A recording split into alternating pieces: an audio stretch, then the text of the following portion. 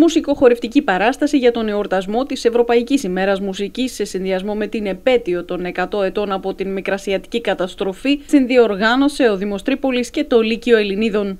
Έχουν περάσει αρκετά χρόνια από τότε που ο τελευταίος Έλληνας εγκατέλειψε τη Μικρασιατική γη.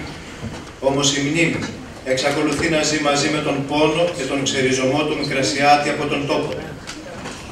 Οι αναμνήσεις και η νοσταλγία για τις αλυσμόνιτες πατρίδες κάνουν τα μάτια να χύνουν ποτάμια τα δάκρυα, όπως περιγράφει με τους στίχους της η διδός σωτηρίου στα ματωμένα χώματα.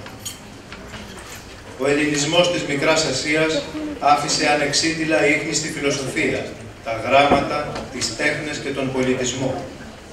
Διατήρησε την επαφή με τη Μητροπολιτική Ελλάδα και με την ακτινοβολία του διέδωσε το ελληνικό πνεύμα.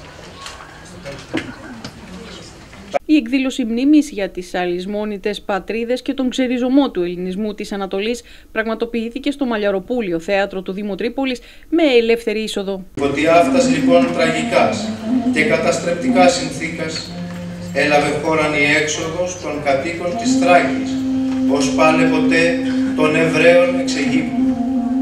Λαός κατοικών την χώραν ταύτην από αμνημονεύτων χρόνων αναγκάζεται να εγκαταλείψει την γενέθλιον χώρα του, μεθυσυνδέεται διαρρήκτων ιστορικών και εθνολογικών δεσμών εις το άκουσμα της επανόδου των Τούρκων και ο πληθυσμός της από τα μέσα του 19ου αιώνα ένα μοσαϊκό εθνικο-θρησκευτικών ομάδων. Οι Έλληνες που ήταν και η πολυπληθέστερη κοινότητα. Γκάιντα, κλαρίνο, καβάλ, κανονάκι, βιολί, λαούτο και ποντιακή λύρα ήταν μερικά από τα μουσικά όργανα των συντελεστών της παράστασης με αρκετά στοιχεία να αντλώνται από το βιβλίο του Γεωργίου Μάνου με τίτλο «Χρόνια».